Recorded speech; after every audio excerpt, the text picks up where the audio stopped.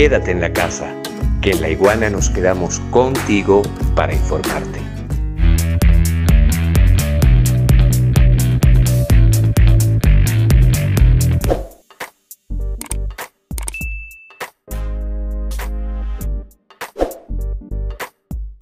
En mi condición de Contralor General de la República Bolivariana de Venezuela y en ejercicio de las atribuciones constitucionales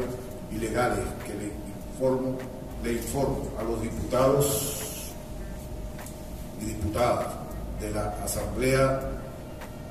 Nacional que deben efectuar su declaración de ingreso por estar ingresando como parlamentario, como parlamentario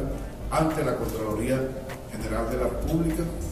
dentro de los 30 días siguientes a la toma de posesión de sus cargos. Se instalará, previa autorización de la Junta Directiva de la Asamblea Nacional, un operativo especial en la sede de la Asamblea Nacional para la realización de la declaración jurada de patrimonio por concepto de ingreso de los diputados y diputadas que están llegando nuevos al Parlamento Nacional. E igualmente, eh, estamos solicitando, como Contralor General de la República, a la Junta Directiva de la Asamblea Nacional, a puede hacer una visita al Contralor General la próxima semana para afinar detalles sobre el operativo y facilitar así la declaración jurada de patrimonio para cada uno de las diputadas y diputados nuevos de la patria y orientarlo sobre eh, el procedimiento de declaración jurada